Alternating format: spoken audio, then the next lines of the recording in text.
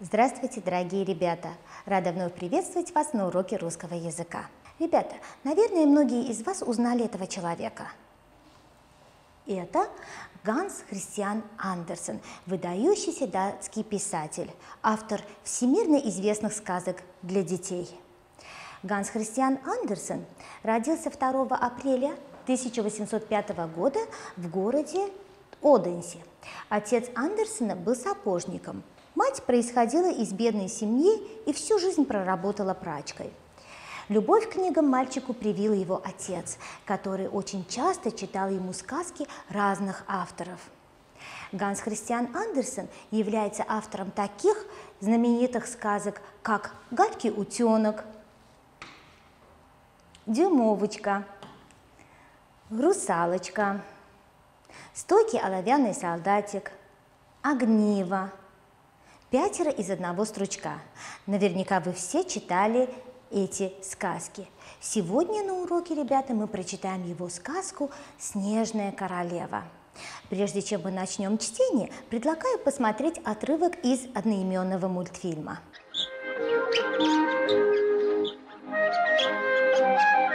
Смотри, смотри, ласточка принесла цветочек. Я тоже хочу сделать тебе подарок. Вот. Я вырастила ее для тебя, а эту я вырастил для тебя, Герда. Спасибо. Кай, давай пересадим их в один горшочек. Давай. Вот так. И пусть они будут неразлучны, как мы. И пусть они дружат, как мы. И пусть они любят друг друга. И пусть они любят друг друга, как мы. Да. Кай, Герда, Иду! Иду!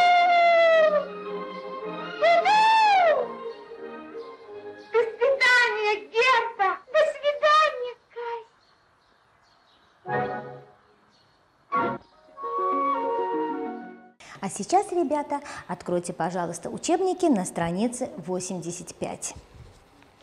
В большом городе, где столько домов и людей, что не всем и каждому удается отгородить себе хоть маленькое местечко для садика, и где поэтому большинству жителей приходится довольствоваться комными цветами в горшках, жили двое бедных детей – но у них был садик побольше цветочного горшка.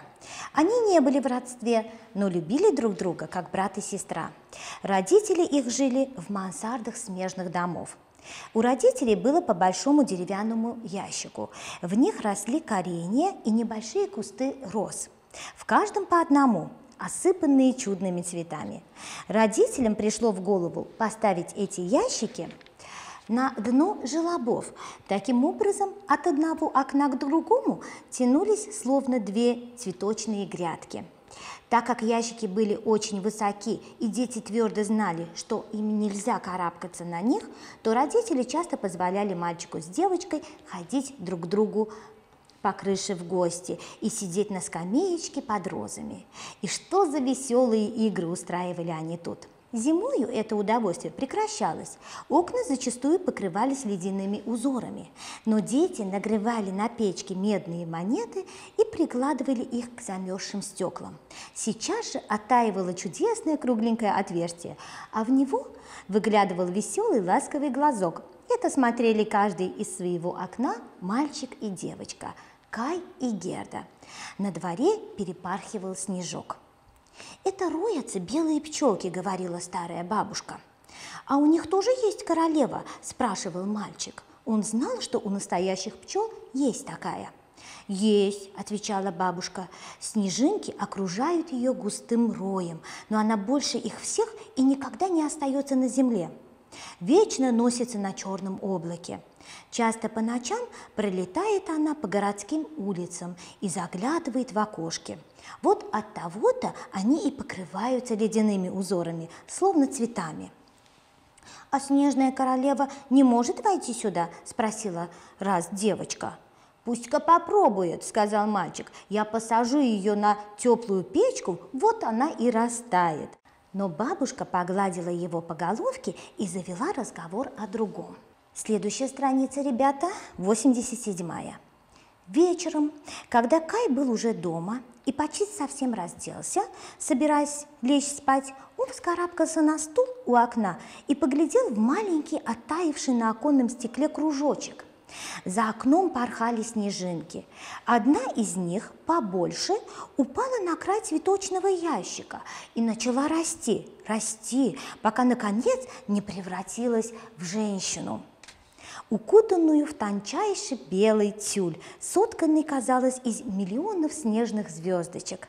Она была так прелестна, так нежна, вся из ослепительного белого льда, и все же живая.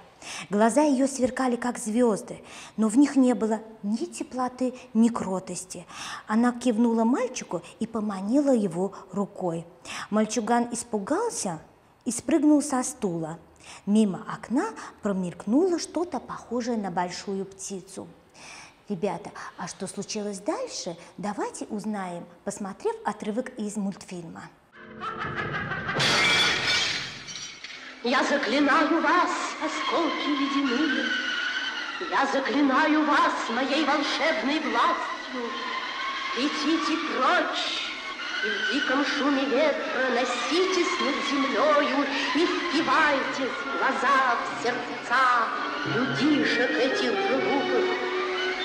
И тот, кому осколок в глаз вонзится, Пусть видит всюду лишь одно дурное, А тот, кому стекло вобьется в сердце, Пусть станет злым, и только зло на свете творит всегда. Пусть будет так, Летите! Ой, какая метель! Давай посмотрим, давай.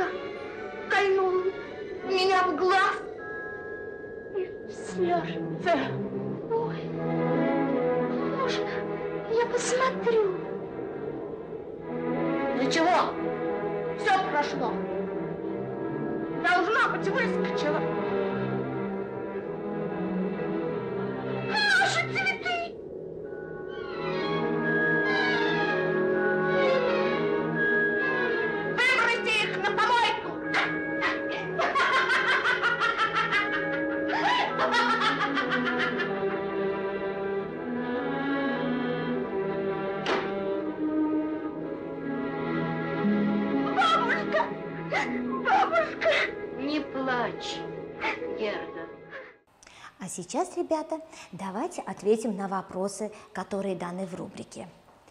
Что вы узнали о мальчике и девочке? Мальчика звали Кай, девочку Герда. У них был садик, в котором росли розы.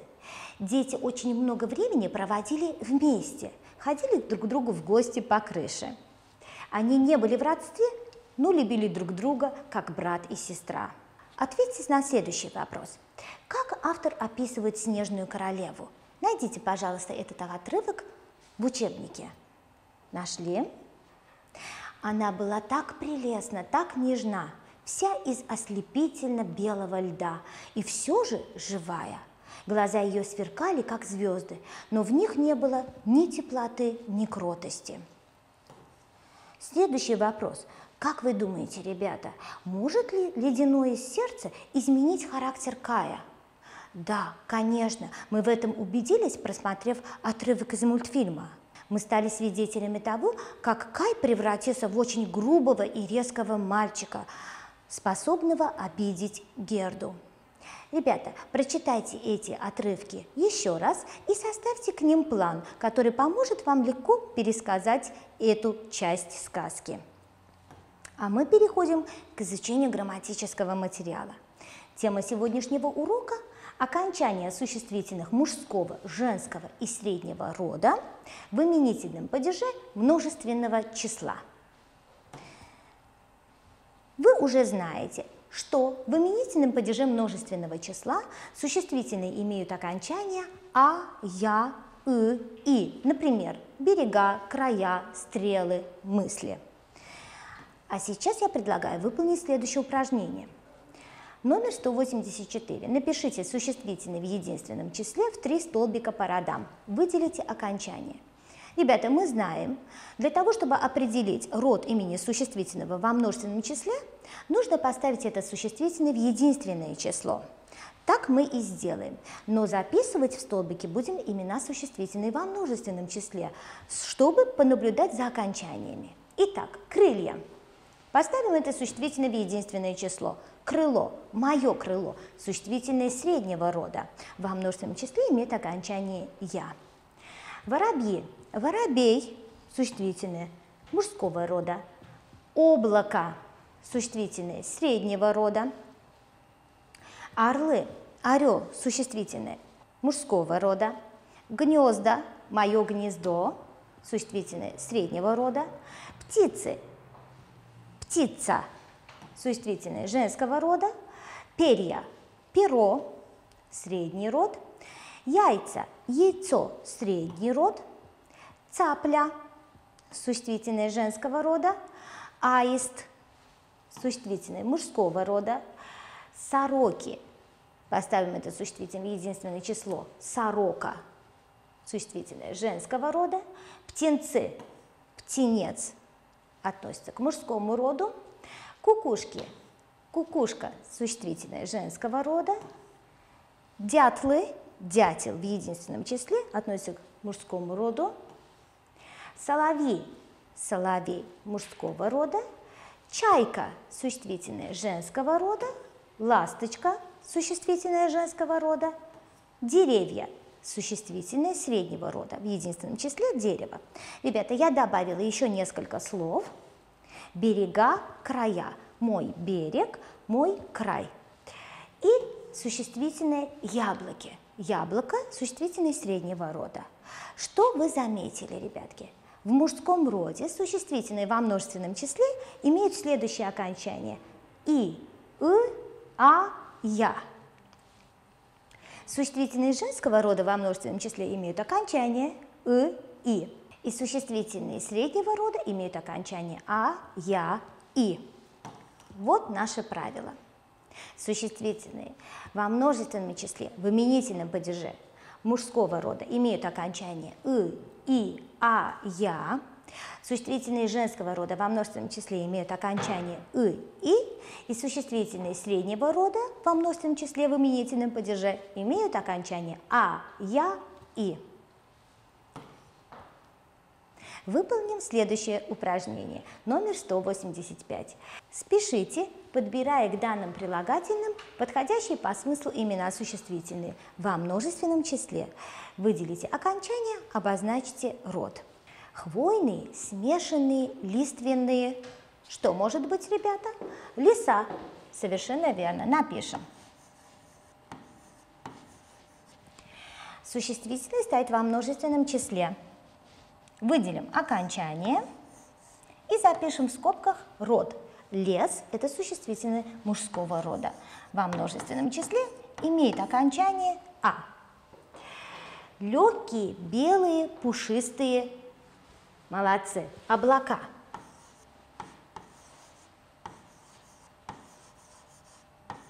Облако – существительное среднего рода. Во множественном числе, как мы уже знаем, имеет окончание «а». Гласные, согласные, твердые могут быть звуки –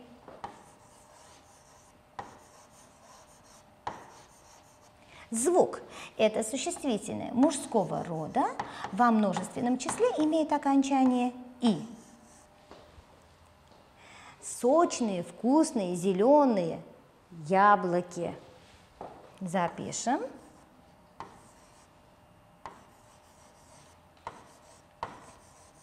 Яблоко – это существительное среднего рода, а во множественном числе имеет окончание «и». Сложные, легкие, круговые, что может быть, ребята? Движения.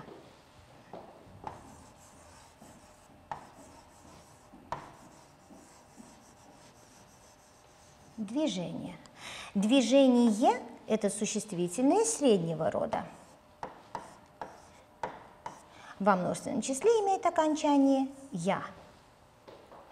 Гранитные, высокие, мраморные стены можно подобрать, это существительное стены.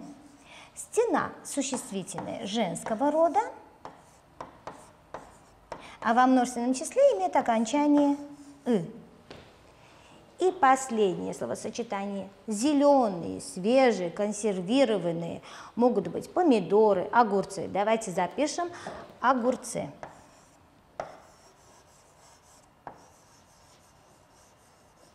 Огурец существительное мужского рода, во множественном числе в именительном падеже имеет окончание «ы». Молодцы, ребята, хорошо справились с заданием. Прочитаете правила у вас в учебнике и выучите его наизусть. На сегодня наш урок окончен. Но прежде чем попрощаться, хочу напомнить вам о том, чтобы вы соблюдали все правила личной гигиены.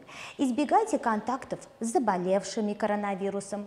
Пользуйтесь защитной маской, меняйте ее каждые 2-3 часа. Мойте руки после посещения общественных мест и, конечно же, перед приемом пищи. И очень важно соблюдать режим дня. Высыпайтесь хорошенько, проветривайте комнату, в которой находитесь. Занимайтесь физкультурой, ешьте побольше овощей и фруктов. Не болейте, будьте здоровы. До свидания.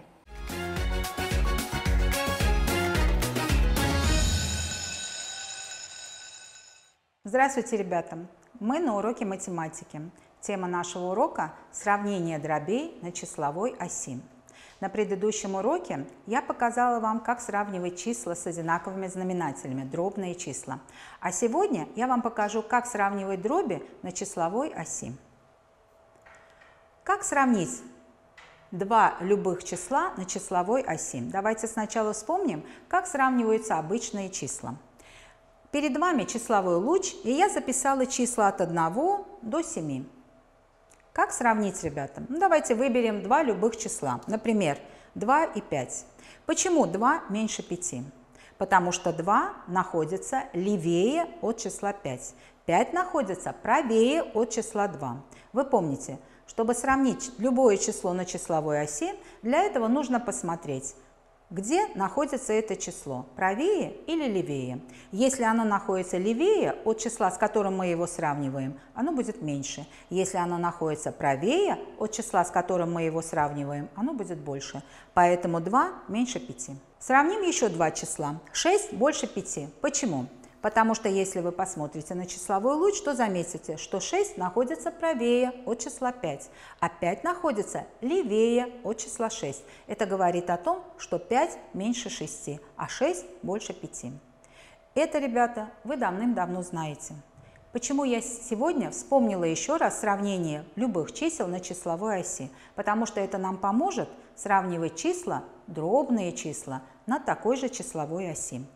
Вот теперь представим числовую ось, запишем число 0, число 1 и представим, ребята, ряд дробных чисел, или мы как называем их коротко, дроби. Перед нами дробь 1 восьмая, 2 восьмых, 3 восьмых, 4 восьмых, 5 восьмых, 6 восьмых, 7 восьмых, 8 восьмых.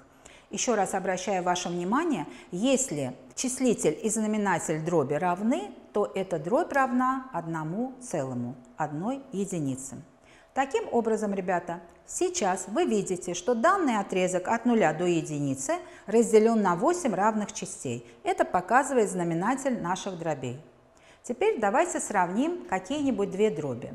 Ну, например, давайте 3 восьмых и 5 восьмых. Какая из этих дробей будет меньше и почему? А какая из этих дробей будет больше и почему? Если мы вспомним алгоритм сравнения обычных чисел, который только что с вами повторили, то мы с вами вспомним, что если число находится левее от числа, с которым мы его сравниваем, оно будет меньше. А то число, которое находится правее от числа, с которым мы его сравниваем, оно будет больше. Поэтому мы можем записать дроби 3 восьмых, 5 восьмых и поставить между ними знак сравнения. 3 восьмых меньше, чем 5 восьмых. А теперь обратим внимание вот на эту дробь 4 восьмых. Она занимает ровно серединку этого отрезка. Почему? Потому что если всего равных частей 8, то 4 это будет точно половинка от 8. Поэтому мы можем сказать, что дробь 4 восьмых занимает середину данного отрезка. А середина данного отрезка, вот мы обозначим цветными полосочками, можно обозначить, это 1 вторая. То есть, ребята, если у вас яблоко, и вы ровно разделили пополам это яблоко, то каждая часть будет составлять 1 вторую. Сравните закрашенную часть с дробью 1 вторая и выразите дробью приблизительно. Давайте посмотрим на первый прямоугольник. Здесь мы видим закрашенную часть. Нам нужно эту закрашенную часть сначала сравнить с дробью 1 вторая. 1 вторая, мы только что с вами сказали, что это половинка. То есть разделим этот прямоугольник пополам. А теперь посмотрим, соответствует эта дробь 1 вторая нашей закрашенной части. Может быть, наша закрашенная часть меньше или больше? Она равна. Мы можем сказать приблизительно, что наша закрашенная часть соответствует дроби 1 вторая. Как видите, я записала знак приблизительно. Теперь рассмотрим следующий прямоугольник. Здесь тоже закрашенная часть. Мы должны сначала сравнить ее с дробью 1 вторая. Для этого давайте разделим прямоугольник пополам. Теперь посмотрим. Закрашенная часть оказалась больше, чем 1 вторая, то есть чем половинка. А теперь мы должны сказать, какую дробь приблизительно может обозначать закрашенная часть. Давайте разделим этот прямоугольник приблизительно на 4 равных прямоугольника, на 4 равные части. А теперь посмотрим, сколько частей составляет закрашенная часть. Три части из четырех. Вы помните, это приблизительно, поэтому мы записываем знак приблизительно и записываем дробь 3 четвертых. Теперь рассмотрим третий прямоугольник. У третьего прямоугольника тоже есть закрашенная часть. По условию задания мы должны сравнить ее с дробью 1 вторая. Поэтому разделим и этот прямоугольник пополам. И теперь посмотрим, закрашенная часть соответствует половинки меньше или больше? На рисунке видно, что она меньше, чем 1 вторая.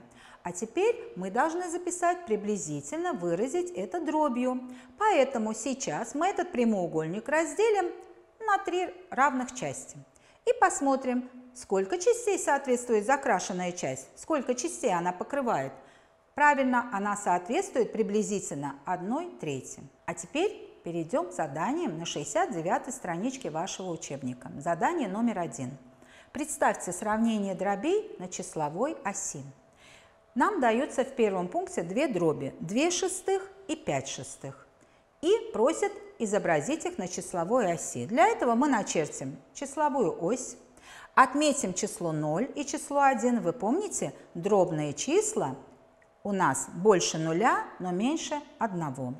И теперь, ребята, нам нужно разделить этот отрезок на равные части. А на сколько частей мы будем делить? Это показывает знаменатель дробей, которые нам предстоит с вами сравнить. То есть мы сейчас разделим отрезок на 6 равных частей. Делим отрезок на 6 равных частей. Теперь мы должны обозначить на числовой оси дробь 2 шестых. Отмечаем дробь 2 шестых. Она занимает вторую черточку. Можем также обозначить цветной ленточкой, провести цветным карандашом. Дальше, ребята, мы обозначим 5 шестых. Вот у нас на числовой оси появилась дробь 5 шестых. Ее можно также обозначить цветной ленточкой. И если, ребята, мы представили сравнение этих дробей на числовой оси, то по цветным ленточкам можно догадаться, какая дробь будет больше.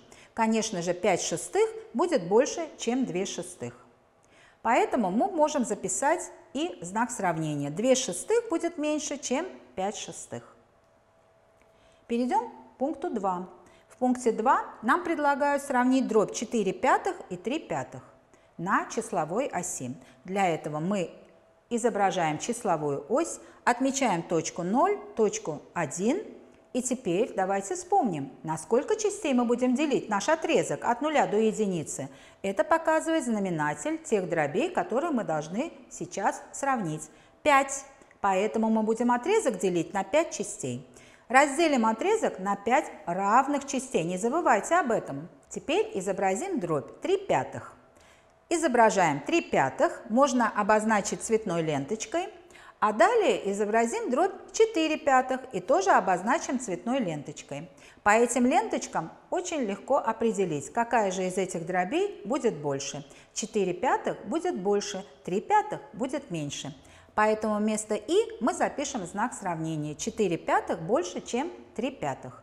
Вы помните, если мы сравниваем дроби с одинаковым знаменателем, то та дробь будет больше, у которой больше числитель. 4 больше, чем 3, поэтому вся дробь 4 пятых будет больше, чем дробь 3 пятых. Перейдем к заданию номер 2. Запишите дроби, соответствующие закрашенным частям в порядке возрастания. Что значит в порядке возрастания? То есть от самого меньшего к самому большему. Теперь давайте рассмотрим три наших оси. Первая ось на ней малиновая полосочка, вы видите. На второй оси у нас зеленая полосочка и на третьей оси голубая полосочка. Мы должны определить, какой дроби соответствует каждой из этих трех полосок. У нас есть небольшая подсказка. Здесь у нас стоит дробь 3 шестых. О чем она говорит? Она говорит о том, что наш отрезок от нуля до единицы был поделен на 6 частей. А теперь давайте посчитаем. Малиновая полосочка – соответствует какой дроби? Мы считаем 1, 2, 3, 4, 5. То есть мы можем записать 5 шестых. Теперь посмотрим, какой дроби соответствует вторая зеленая полосочка. Считаем 1, 2 и записываем 2 шестых. А теперь обращаем внимание на третий числовой луч. На нем полосочка. Считаем 1, 2, 3, 4. Она занимает 4 части из 6 поэтому мы записываем дробь 4 шестых. А теперь давайте расположим эти дроби в порядке возрастания. Об этом говорилось в нашем задании. То есть найдем самую маленькую. По рисунку, ребята, видно, что самая маленькая из них – это 2 шестых. Поэтому записываем ее, 2 шестых. После дроби, после того, как вы записали дробь 2 шестых, вы должны поставить запятую. Запятая, ребята, ставится не внизу, рядом со знаменателем, не наверху, рядом с числителем. Она ставится ровненько, рядышком с той черточкой, которая обозначает дробную черту. Вот с этой черточкой рядом поставите и вы запятую. Дальше. 2 шестых мы уже отобразили. Теперь на, у нас остались две дроби, 5 шестых и 4 шестых. Какая дробь немножко больше, чем 2 шестых, но меньше, чем оставшаяся третья? Правильно. Сейчас у нас идет дробь 4 шестых. Она больше, чем 2 шестых, но меньше, чем оставшаяся дробь. Поэтому мы записываем 4 шестых и также обозначаем после нее запятую, ставим запятую. И последняя дробь в порядке возрастания – это 5 шестых. Мы записали с вами сейчас три дроби, 2 шестых, 4 шестых и 5 шестых в порядке возрастания. А теперь перейдем к заданию номер 4. Изобразите три одинаковых квадрата. Разделите их на равные части и закрасьте красным цветом. Одну часть первого квадрата, разделенного на две равные части – две части второго квадрата, разделенного на четыре равные части, и три части третьего квадрата, разделенного на шесть равных частей. Дроби, соответствующие закрашенным частям каждого из трех квадратов, сравните с дробью 1 вторая и представьте полученные выводы на числовой оси. Такое большое задание, но мы с вами будем разбираться по частям. Поэтому вначале мы прочитаем «Изобразите три одинаковых квадрата». Изобразили. Теперь над каждым квадратом придется еще поработать немножко. Первый квадрат делим на две части и закрашиваем одну часть. Так и поступим. Делим его на две равные части и закрашиваем одну часть. Далее, ребята, поработаем со вторым квадратом. Делим его на 4 части и закрашиваем 2 части. Делим на 4 и закрашиваем 2. Теперь перейдем к третьему квадрату и поработаем с ним. Делим квадрат на 6 равных частей. Разделили на 6 равных частей, а теперь закрасили 3 части. Переходим к следующему этапу. Итак, у нас получилось, получилось 3 квадрата. Первый квадрат поделен на две части, одна закрашена, второй поделен на четыре части, две закрашены, третий поделен на шесть частей, из которых три закрашено. А теперь давайте подумаем, какой же дроби соответствуют закрашенные части. На первом рисунке это 1 вторая, на втором получается 2 четвертых, а у третьего квадрата получается 3 шестых мы записали дроби, которые соответствуют закрашенным частям этих квадратов. Теперь что мы будем делать дальше? Представьте полученные выводы на числовой оси. Для этого мы нарисуем числовую ось. Это ось, которая предназначена для результатов по первому квадрату. Вы помните, мы его делили на две части и обозначили дробью закрашенную часть. То есть разделим пополам, закрасим ленточкой одну часть и запишем дробь 1 вторая. Теперь такой же лучик мы изобразим для второго квадрата. Вы помните, мы его делили на 4 части, поэтому и числовой луч мы разделим на 4 части, а затем мы раскрасили две из них. Раскрашиваем каким хотите цветом карандаша, раскрасьте две части – и записываем дробь, которая соответствовала закрашенным частям второго квадрата, 2 четвертых. А теперь точно такой лучик мы запишем и к третьему квадратику. Начертим луч. Вы помните, насколько мы делили квадрат? Правильно, третий квадрат мы делили на 6 частей, поэтому и луч разделим на 6 частей, на 6 одинаковых частей. А теперь мы должны 3 из них раскрасить. Мы берем 3 части, обозначаем его цветной ленточкой – и записываем дробь 3 шестых. А теперь давайте сравним. Дробь 1 вторую, 2 четвертых и 3 шестых. Посмотрите, ребята, можно сказать, что эти дроби абсолютно одинаковые, потому что полосочки и первого луча, и второго, и третьего равны. Какой вывод мы можем сделать? Мы делаем вывод, что дробь 1 вторая – равна дроби 2 четвертой и равна дроби 3 шестых. То есть, ребята, у нас получилось ровные полосочки, которые соответствуют разным дробям, но эти дроби показали половину этого отрезка, данного на числовом луче. То есть, посмотрите, красная полосочка соответствует половине так мы и записывали одна вторая. Но и вторая полосочка соответствует тоже, ребята, половине второго числового луча. И третья полосочка, несмотря на то, что она занимает три части, но она соответствует половине третьего числового луча. Поэтому и получается, еще раз читаем, 1 вторая равна дроби 2 четвертых и равна дроби 3 шестых. Потому что все эти дроби – это половинка от целого. А наш урок подходит к концу, ребята. И я хочу обратить ваше внимание на эти простые правила, которые вы должны соблюдать для того, чтобы не заболеть. В первую очередь мойте обязательно ручки почаще, надевайте маски, не трогайте лицо руками, не прикасайтесь к лицу. И если вы выходите на улицу, соблюдайте дистанцию. Будьте здоровы, я с вами прощаюсь, до новых встреч!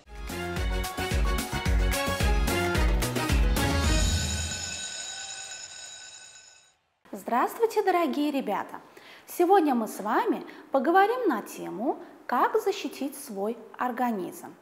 Ребята, ежедневные прогулки на свежем воздухе, регулярные занятия утренней гимнастикой, а также растирание тела влажным полотенцем дают положительный результат для человеческого организма.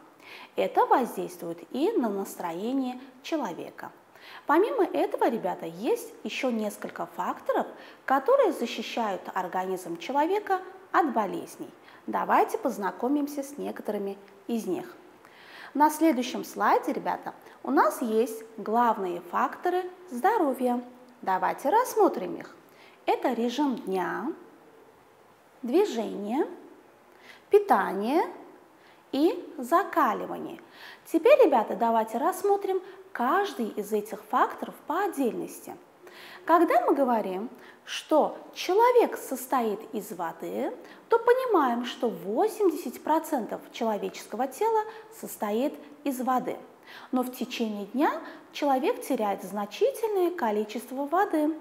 Поэтому следует обязательно пить чистую воду, чтобы возобновить водный баланс организма. Помимо этого, ребята, также мы с вами должны знать, что большую роль э, в защите организма человека играет и питание.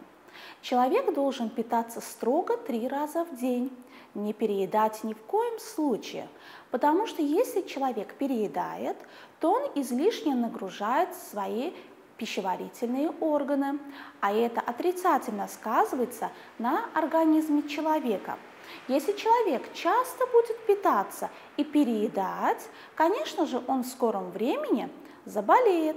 Не забудьте э, свой рацион включить побольше фруктов и овощей.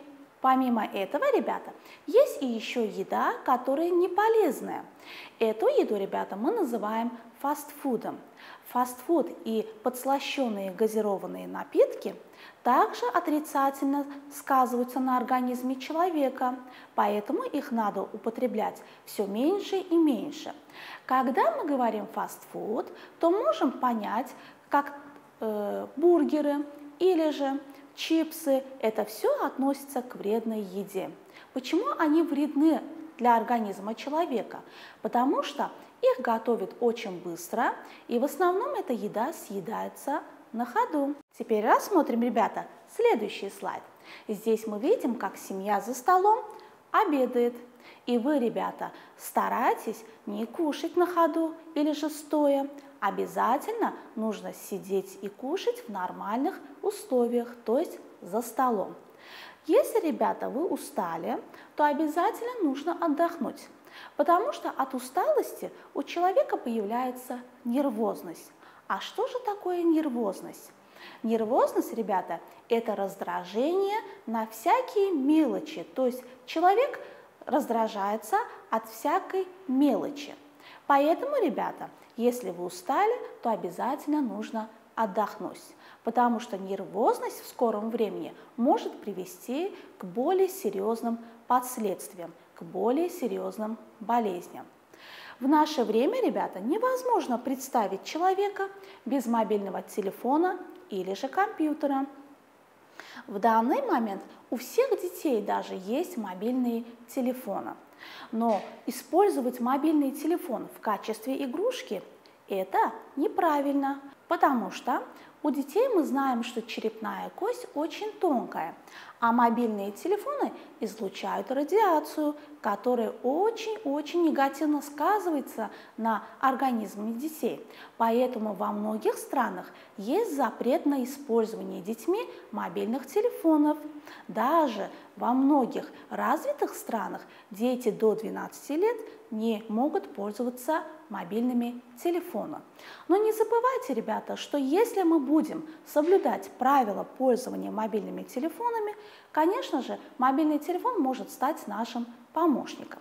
Теперь давайте мы с вами познакомимся, с какими же последствиями можем столкнуться, если будем часто пользоваться мобильным телефоном. Значит, если мы будем очень часто пользоваться мобильным телефоном, мы можем нарушить свой сон. Дальше увеличивается стресс.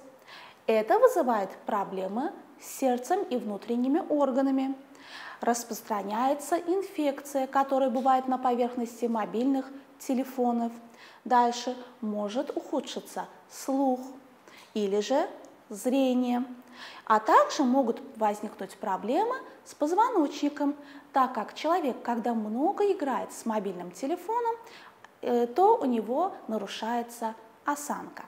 А теперь давайте рассмотрим с вами, ребята, правила пользования мобильным телефоном. То есть как мы должны пользоваться мобильным телефоном, чтобы не навредить своему организму. Значит, мы должны мало говорить по телефону, Не класть телефон под подушкой. Обязательно, когда вы спите, не кладите под подушкой телефон, потому что мы сказали, что телефон излучает радиацию.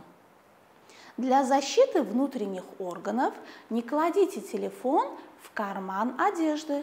Обязательно носите телефон или в сумке, или же в портфеле. Нельзя пользоваться телефоном, когда он подключен к электрической сети. Дальше. Дома желательно пользоваться домашним телефоном и выключать мобильный телефон. Помимо этого, ребята, мы часто с вами сидим за компьютером. Но использовать компьютер правильно также нужно, как и мобильный телефон. Есть такие люди, которые часами сидят перед компьютером. Они, уставившись на монитор, сидят и кушают, и пьют за компьютером. Конечно же, это уже называется зависимостью от компьютера. У этих людей также бывает нарушение зрения, слуха, э, осанки и многие другие проблемы. Поэтому, ребята, мы также должны учитывать и правила пользования компьютером. Например, если мы сидим долгое время э, за компьютером, то мы должны менять свое положение тела очень часто. Также нужно проветривать комнату. Нельзя в спальную комнату класть компьютер. Также, ребята, не забывайте, что если человек очень часто сидит за компьютером, то он становится нелюдимым. А кого называют нелюдимым человеком? Нелюдимый человек – это человек, который избегает людей, любит одиночество. Я думаю, что каждый из вас будет беречь свое здоровье и прислушаться нашим советам. Теперь, ребята, давайте вместе с вами посмотрим вопросы и задания по учебнику. Первый вопрос – Найдите, к чему имеют отношение ниже приведенные признаки. Еда готовится быстро, в большинстве случаев съедается на ходу, больше всего этой едой пользуется молодежь, наносит вред здоровью. О какой же мы с вами еде говорим? Верно, ребята? Правильный вариант – это фастфуд. Рассмотрим второе задание – Почему мобильные телефоны считаются опасными для детского здоровья? А.